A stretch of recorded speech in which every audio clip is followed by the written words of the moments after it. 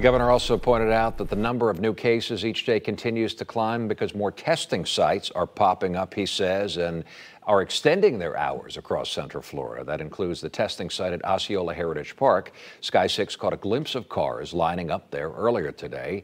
And as News 6's Amanda Castro explains, the demand for testing is still very high right now.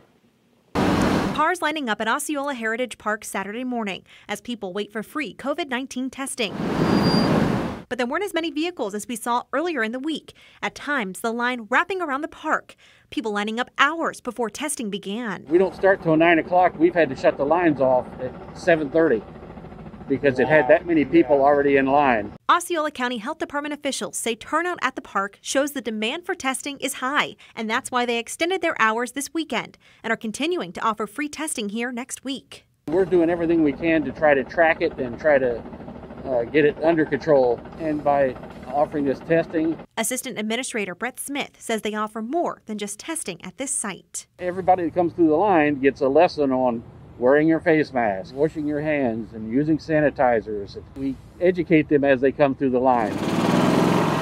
Amanda Castro getting results, News 6.